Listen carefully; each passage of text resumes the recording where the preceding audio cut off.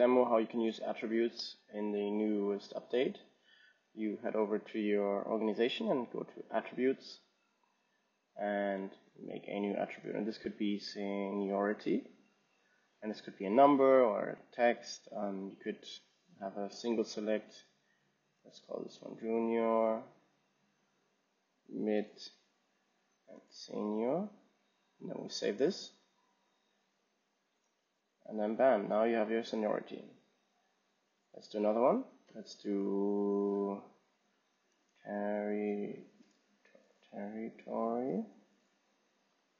And we'll have, this could be actually multiple select because you could have multiple uh, territories. So you have Latin, we have North America, Europe, and what else? Asia, Australia. I don't know, let's go with that. Um, I forgot. Save this one. Coolio. So now we have six options and we can now go to our members and uh, let's just take me for example and or maybe Sean. Let's edit Sean. And now we can oh, my face is in the way. Go to edit. And as you can see we have now attributes. Uh, we can have mid and he's in Europe. And we update this.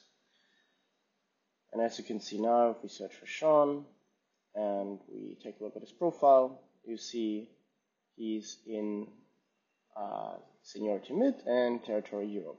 This is perfect for sales teams, uh, engineering, um, anytime you want to add attributes to people. And what's even better is now with Round Robin, you could assign people based on their attributes. So you could make a link that says, give me only um, senior sales reps for North America. Um, so you of like decouple the whole team aspect with attributes and it's much easier to maintain. We can sync this with your HRIS system. So if you keep your attributes, you know, seniority, territory, and everything in a central place, we can sync with that. Um, and by just adding people to your HR system, they will be assigned to the right link. Um, I hope that helps. Um, good luck and uh, give me any feedback if you have some.